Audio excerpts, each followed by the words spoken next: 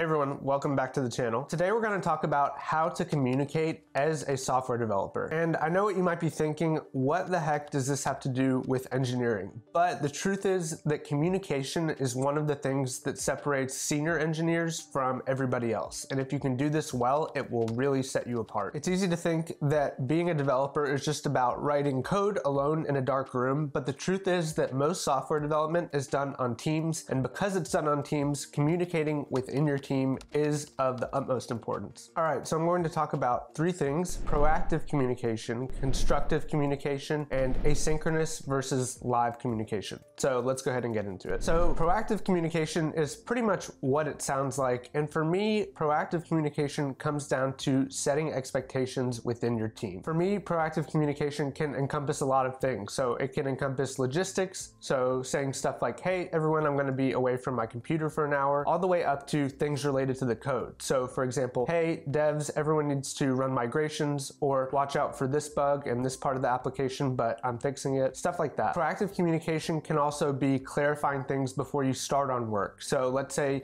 you take a ticket from the backlog and as you're starting work on it, you have some questions or you need some clarification. Proactive communication would be reaching out to make sure you have everything set in your mind before you start working. Basically, proactive communication comes down to thinking ahead about things that could go wrong or challenges that might be presented to your team and trying to mitigate those. Or at least that's how I think of it. I'm generally of the school of thought that the better expectations are communicated, the better everyone works together. And that is why proactive communication is so important. All right, let's move on to constructive communication. So in my mind, constructive communication is mostly going to take place in pull requests to either GitHub or GitLab or whatever source control you happen to use. And constructive communication is important because it's a teaching tool, and it's also a really good way to level your team up if it's done appropriately and with some nuance. So developers have a bad reputation for being really blunt and not too nuanced when it comes to feedback. So stuff like this is bad, this is wrong, this is a code smell, you know, stuff like that. And so the way I like to approach constructive communication in a way that's more palatable for the other person is to ask questions. So if you notice, for example, a lot of repeating code, I would say, hey, is there a way to make this more dry?